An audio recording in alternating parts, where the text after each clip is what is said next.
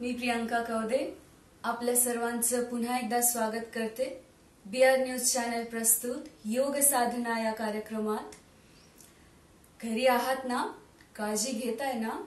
लक्षात ठेवा कोरोनावर मात करण्यासाठी आपल्याला घरीच राहायचं आहे. स्वतःची काळजी घ्यायची आहे.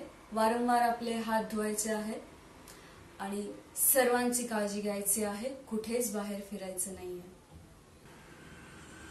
तर मागच्या काही भागांमध्ये आपण शिकलेलो आहोत. सूर्यनमस्कार कसे घालायचे आहेत? सूर्यनमस्काराचे फायदे कधी घालावे किती घालावे या सगळ्यांबद्दल आपण मागच्या काही भागात माहिती घेतलेली आहे. त्याच्यानंतर आपण शिकलेलो आहोत काही आसनास ज्याच्यामुळे तुमचा बाक स्ट्रॉंग बनेल ज्याच्यामुळे तुमचं डायजेस्टिव्ह सिस्टम स्ट्रॉंग बनेल ज्याच्यामुळे तुमचं इम्युनिटी पॉवर वाढेल.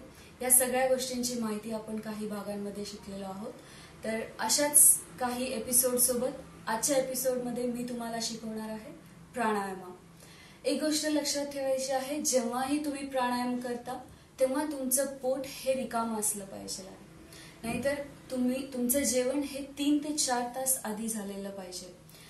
प्राणायाम प्रॅक्टिससाठी सगळ्यात उत्तम वेळ म्हणजे सकाळी सहा ते नऊच्या दरम्यान आणि संध्याकाळी पाच ते सातच्या दरम्यान.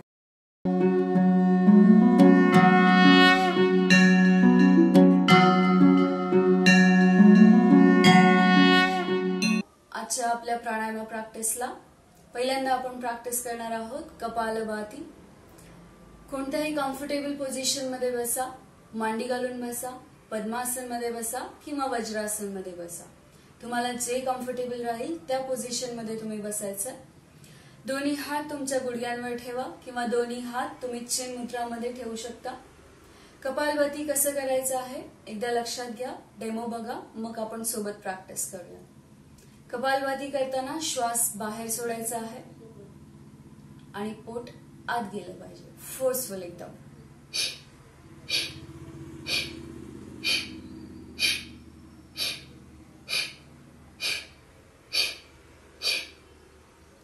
लक्षात येत नसेल तर उजवा तळहात तुमच्या पोटावर ठेवायचा आहे आणि श्वास बाहेर सोडत पोट आत घ्यायचा आहे.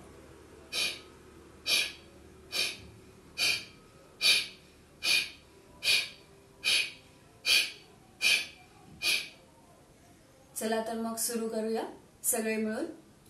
कम्फर्टेबल पोझिशनमध्ये बसा पाठ सरळ दोन्ही हात छेद मुद्रामध्ये किंवा तुमचा उजवा हात तुमच्या पोटावर. डोळे बंद केले तरी चालतील किंवा डोळे उघडे ठेवा. एक्सेल करत.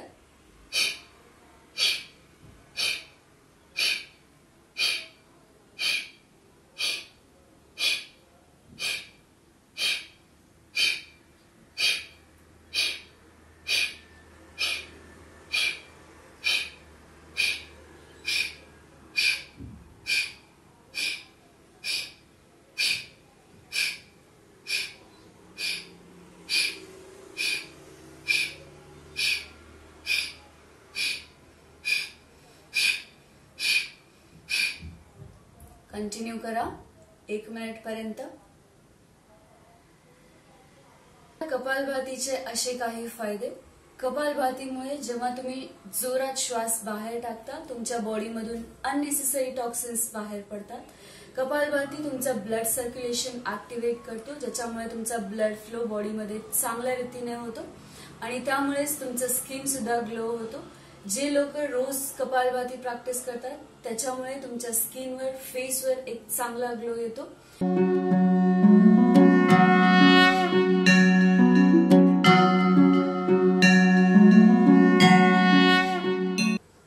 चला तर मग वळूया प्राणायामाच्या पुढच्या प्रॅक्टिसला ते म्हणजे नाडी शोधन प्राणायामा.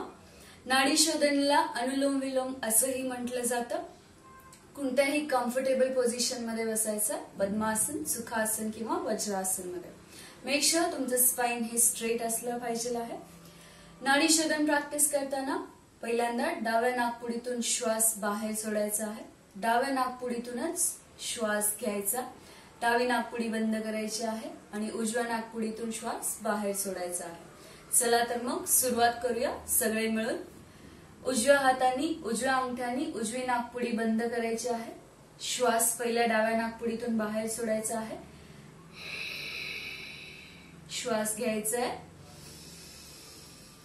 डावी नागपुडी बंद. उजव्या नागपुडीतून श्वास बाहेर सोडायचा आहे. उजव्या नागपुडीतून श्वास घ्यायचा आहे. उजवी नागपुडी बंद. डाव्या नागपुडीतून श्वास सोडायचा. आहे कंटिन्यू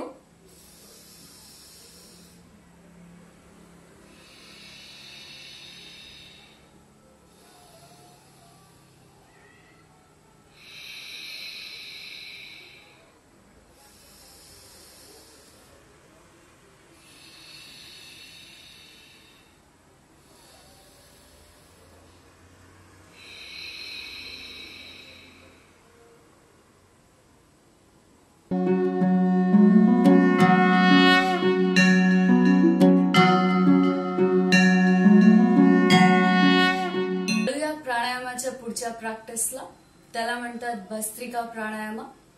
भस्त्रिका प्राणायामला पॉवरफुल आणि इंटेन्स प्रॅक्टिस मानलं जातं. कारण जेव्हा फोर्सफुली तुम्ही ब्रेदिंग करता आणि फोर्सफुली तुम्ही एक्सेल करता तुमचा हार्टबीट वाढतं तुमचं ब्लड सर्क्युलेशन स्टिम्युलेट होतो नर्वस सिस्टम ऍक्टिव्हेट होते आणि तुमचं इम्युनिटी पॉवर वाढतं. ज्याच्यामुळे तुम्हाला तुमचं हेल्थ हे खूप चांगल्या रीतीने मेंटेन करता येतं. चला तर मग शिकूया भस्त्रिका प्राणायाम.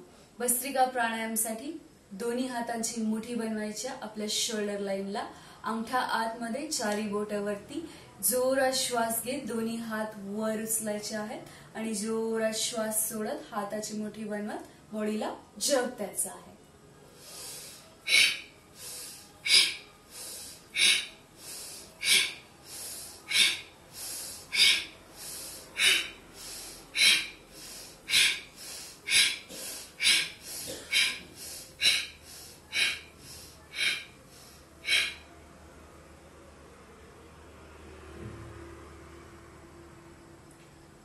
भस्त्रिका प्राणायाम प्रॅक्टिस केल्यानंतर लगेच डोळे उघडू नका. दोन मिनिटं डोळे बंद करून शांत बसा. तुमचा हार्टबीट ऐका. तुमचा ब्लड फ्लो स्टिम्युलेट झालेला असेल ते फील करा. त्यामुळे डोळे बंद करून बसणं खूप इम्पॉर्टंट आहे. भस्त्रिका प्राणायाम प्रॅक्टिस केल्यानंतर लगेच डोळे उघडू नका. एक मिनिट डोळे बंद करून शांतपणे बसायचं आहे. ज्याच्यामुळे तुमचा हार्टबीट तुम्ही फील करू शकता. ब्लड सर्क्युलेशन स्टिम्युलेशन तुम्ही फील करू शकता. त्यामुळे डोळे बंद करून शांतपणे बसायचं आहे. हार्टबीट नॉर्मल आणायचा आहे. ज्या लोकांना हाय ब्लड प्रेशर आहे अस्थमा आहे वर्टिगो आहे मायग्रेन आणि प्रेग्नन्सी मेन्सरल सायकल त्या लोकांनी भस्त्रिका प्राणायाम अजिबात प्रॅक्टिस करायचं नाहीये. नुसते ब्रीदिंग प्रॅक्टिस तुम्ही प्रॅक्टिस करू शकता.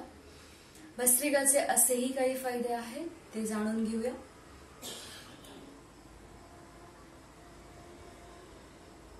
भस्त्रिका प्राणायाममध्ये जेव्हा तुम्ही श्वास जोरात घेता तेव्हा तुम्ही हार्ट आणि लंग्सची कॅपॅसिटी वाढवता. जेव्हा तुम्ही फोर्सफुली श्वास बाहेर सोडता तेव्हा तुम्ही तुमच्या लंग्सची cleaning technique cleansing cut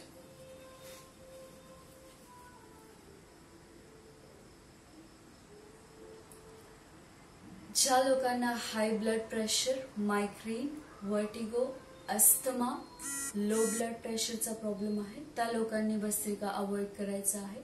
pregnancy woman menstrual cycle या वुमननी सुद्धा भस्त्रिका प्राणायाम अजिबात करायचं नाही आहे तुम्ही जस्ट ब्रीदिंग प्रॅक्टिस करू शकता. भस्त्रिका प्राणायामाचे फायदे असेही आहेत. भस्त्रिका जेव्हा तुम्ही प्रॅक्टिस करता मेक शुअर जेव्हा तुम्ही ब्रीदिंग करता तुमचे हार्ट आणि लंग्सची कॅपॅसिटी वाढते. जेव्हा तुम्ही ब्रीद आउट करता तुम्ही लंग्समधून टॉक्सिन्स बाहेर पाडताय. रोजच्या भस्त्रिकाच्या प्रॅक्टिसमुळे तुमचं डायजेस्टिव्ह सिस्टमला स्टिम्युलेशन मिळतो तुमचं इम्युनिटी सिस्टम वाढते रेस्पिरेटरी आणि नर्वस सिस्टम हे चांगलं राहतं. आज आपण इथेच थांबूया. पुढच्या भागात पुढच्या नवीन एपिसोडमध्ये पुन्हा शिकूया काही नवीन प्रॅक्टिस नवीन टेक्निक्स. स्वतःची काळजी घ्यायची आहे घराबाहेर कुठेही पडायचं नाहीये. आज आपण इथेच थांबूया. तुमचं आजचा एपिसोड तुम्हाला कसा वाटला? तुमच्या कमेंट्सद्वारे मला नक्की कळवा. धन्यवाद.